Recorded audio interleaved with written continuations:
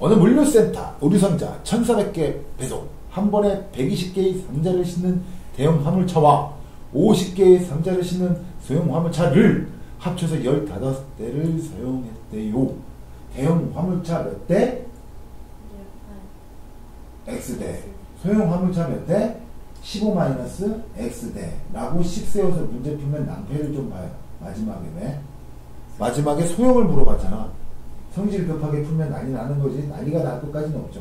15-X일 값을 구해야 되니까. 그치? 그러니까 이걸 뭘로 잡는 게 나아? 차라리 소형 화물차를 X, 대형 화물차를 뭐라고 잡자? 15 마이너스, 맞죠? 15. 15 마이너스 X 이렇게 잡자라고 하는 거예요. 됐어요? 1400개를 배송하려고 한대요. 됐죠? 120개씩 상자 싣는 거야. 그럼 생각을 한번 해봅시다.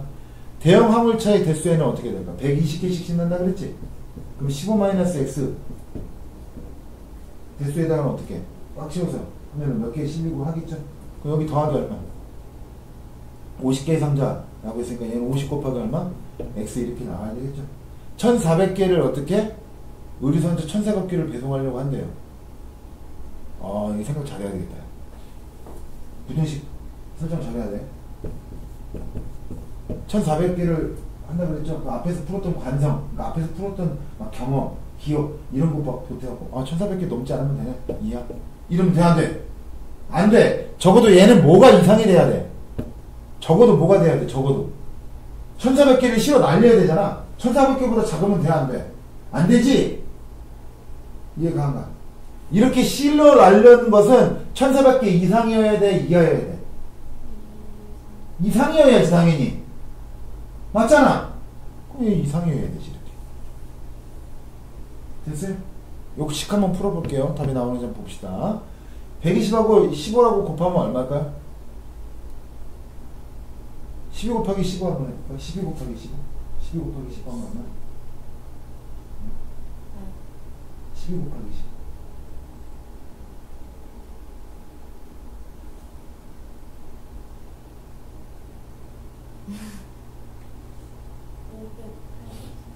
(12 곱하기 15를) 이렇게 한번 해석해 볼까?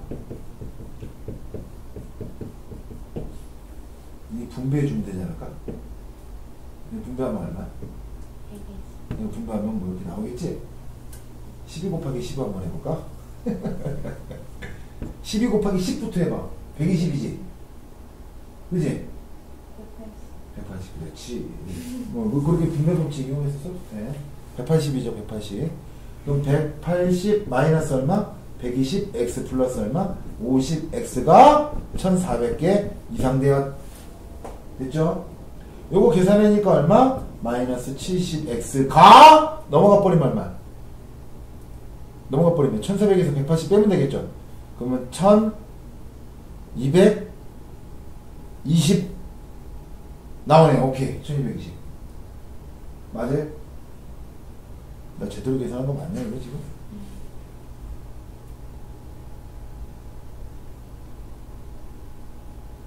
열다섯 대. 1400개. 선생님 계산 잘못했다. 12 곱하기 15가 180이지? 근데 120 곱하기 15니까 어떻게 해야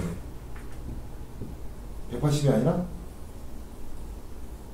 1800이 1800 12 곱하기 15가 180이니까 120 곱하기 15가 1800 미안. 아 자꾸 틀리냐. 미안. 이거 얼마야 마이너스 70이죠? 이거 맞지? 어 오케이 좋아. 1800 넘어가면 얼마? 마이너스 400이 이렇게 나오겠지. 됐지? 70으로 나눠주면 어떻게 7분의 40 부동호방을 바뀌고. 맞아요 안 맞아요? 맞죠? 그럼 7분의 40은 얼마입니까?